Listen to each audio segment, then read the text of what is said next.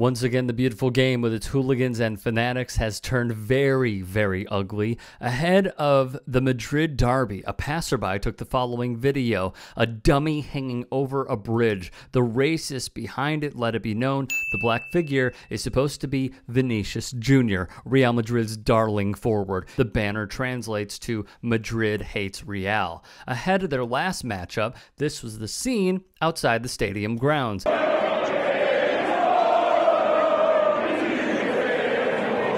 ESPN's Gab Marcotti would translate the chant. They were yelling, You're a monkey, Vinicius, you're a monkey. This rivalry, like many loyalists who feel no line is ever crossed, has brought out the evils of sports, with fan behavior hitting low after low after low. When these two teams squared off, Vinicius was racially abused yet again in September of 2022. Most recently, when Madrid took on Real Valladolid, there was more racism taking place at the stadium grounds. That occurred just weeks ago. As we brought to you previously, La Liga president Javier Tebas did not give encouragement after yet another incident of fan racism. There's never been anything akin to the U.S. civil rights movement in Europe, in part because there are so few black Europeans. What is taboo in the U.S. simply isn't in Europe.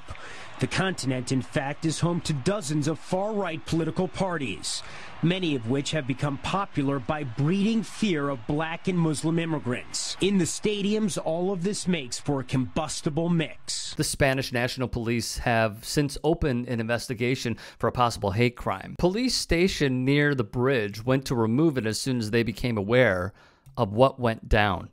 The banner reading Madrid hates Real was no longer hanging there, the press office said. Gustavo Hofman of ESPN would show the picture of the doll with the accompanying tweet as if the unacceptable cases of racism against Vinicius were not enough. Now this threat arises very serious. In addition to the necessary police investigation, clubs and everyone involved in Spanish football need to speak up and act.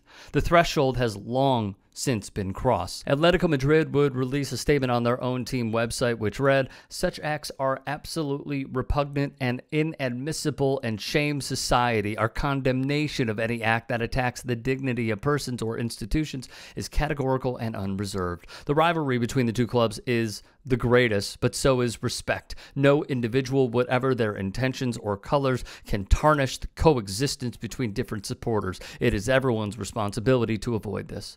This all comes after Vinicius criticized Tebas, saying they are not doing enough to curb racism. Tebas did not relent and defended himself against Vinicius, saying the star's comments were unfair.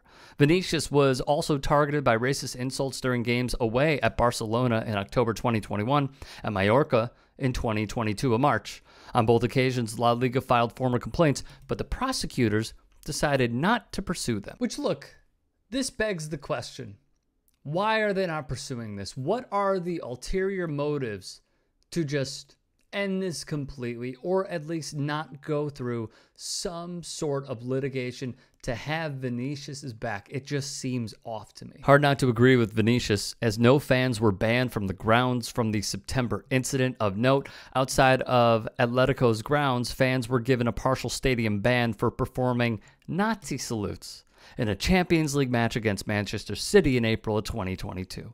Vinicius has also weighed in time and time again. All the racist people must pay in some way. They like to watch soccer, so those Atletico Madrid fans should never be allowed to step foot in a stadium again. That will make them suffer the consequences and reflect about their actions.